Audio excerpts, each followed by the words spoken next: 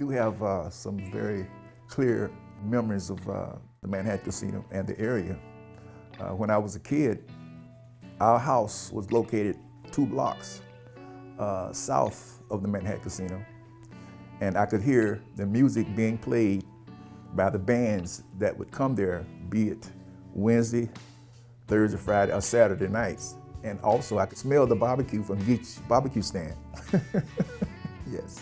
The jewel of 22nd Street was the Manhattan Casino, and people often think of it as only as a place where great musicians came, and boy, did they come. But it was also like a cultural center. I know Gibbs High would hold its proms there. Uh, the civic organizations and women's clubs would have their affairs there. It was the place to be.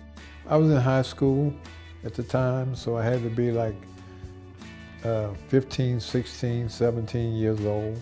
And I wasn't old enough to go into the Manhattan Casino, but I could hear all the music. Right across the street from the Manhattan at Snow Peak, that me and my buddies, we'd pull the cars up, we'd have them lined up.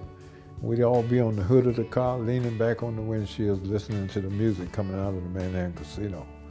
I was not old enough to get into the Manhattan Casino at the time, but I do remember uh, my mother's club had a big affair there. She said, oh, I want you to do something for our club. I said, what you want me to do, Mom?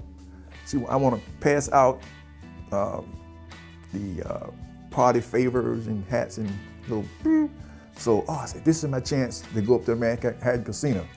But you had to stay back in the cloakroom. You couldn't come on the dance floor because that was not allowed. Black musicians and artists couldn't play in the larger venues. So throughout the South, they played in places like the Manhattan Casino. So the Manhattan was also a part of the Chitlin circuit. But if white people wanted to hear these world-renowned musicians, they still had to come to the Manhattan.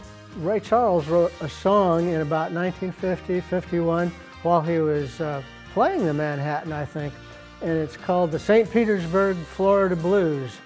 And it's uh, not the greatest song you've ever heard.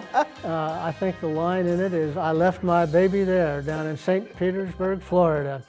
I could say that the Manhattan Casino uh, was uh, good to me.